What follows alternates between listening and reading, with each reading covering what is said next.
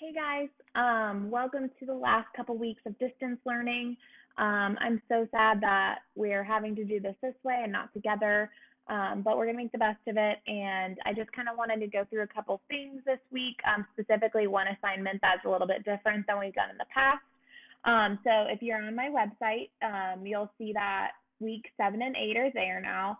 So if you click on week seven, for example, it's set up just like every other week we've done.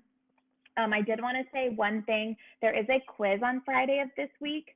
So be sure that you try your best. It does only give you one attempt, but if you would like to do a second attempt, you need to email me for the link. Um, so um, make sure you're trying your best on that, taking your time. The other thing that's a little different these two weeks is I also added a teacher appreciation assignment that I'm going to talk about. So the National Teacher Appreciation was during week six, but Swift Creek usually does theirs this, the next week, which would be this current week seven. I usually make all my make. I usually ask all of my students to make a card for at least one of their teachers. Doesn't have to be a current teacher, and I deliver them. So since that's not possible, um, I figured out an electronic way for you to do this. You have a few options. Um, one, you can send an email or a remind message to your teacher, and then I've also attached some different things you can uh, use for those emails to make them a little bit more fun. Um, so one is a Word document that you can edit and fill out.